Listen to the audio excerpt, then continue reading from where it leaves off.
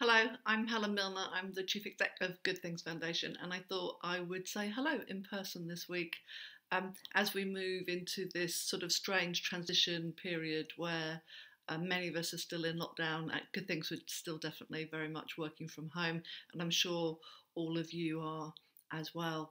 Um, but you know, some shops and hairdressers and things are opening, so it feels like there's this really gradual sense that we're getting a bit um, back to normal. I know lots of you uh, are working hard still, uh, supporting people remotely, but also out and about delivering food parcels and other things. So, a huge, huge thank you from me for all of the work that you're doing.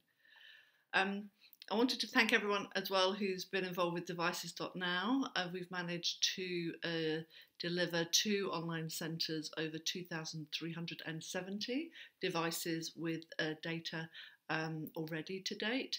Um, we still have demand outstripping supply, so really sorry if you're on the waiting list, and some of you have been on the waiting list for a really long time. So I do know, know that, and we're working really hard to try and raise funds to buy more devices soon, and and hopefully we will have some good news for you soon. Um, interestingly, because lots of the stories I've been hearing have been about older people who have been isolated and lonely and how they've got online, sometimes for the first time, using a device.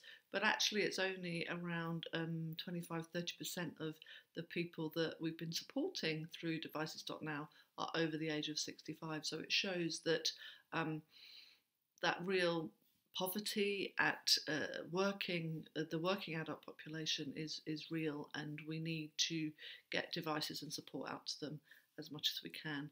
Uh, we've got a crowdfunder raising. I'm not asking for you to um, contribute. I'm asking for you to promote it on the social media channels that that you're on. Um, we're almost at five thousand um, pounds, so you can find that on social media hashtag devices dot now. So dot dot devices dot now um, on social media, or there'll also be a link to the crowdfunder in the newsletter. Um, something that the team have uh, just recently contacted you about already, and it'll be in the newsletter as well this week, is about the text alert system. So it'd be really great if you could opt in to that. That means when we've got something um, important we need to tell you, for example, if My is down, or if um, the team are all having a team away day and therefore can't be reached on the phones, um, then we can text you and let you know. So it'd be great if you have uh, you do opt in. Of course, Good Things Foundation, we're a charity. We definitely won't ever give your number to anybody else. So don't worry about that. You definitely won't then get um, any uh, third party people contacting you through us. It'll just be for Good Things Foundation and things we need to tell you. Um, and the last thing I just wanted to remind you about was the live map. So we have the map of online centres um, across the UK, uh, and we've now twisted that to all of the centres that we know are doing something at the moment. So if you're providing remote support, if you're happy for people to contact you by email or by phone, then please do make sure that the team know that you're up and running and that we can get you onto that live map.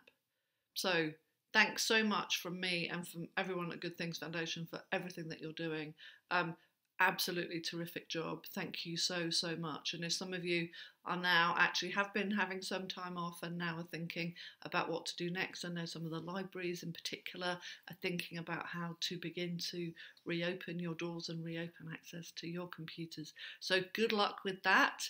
Um, and please do keep in touch. And if there's anything we can do to help, please do let us know. Thanks so much. Bye for now.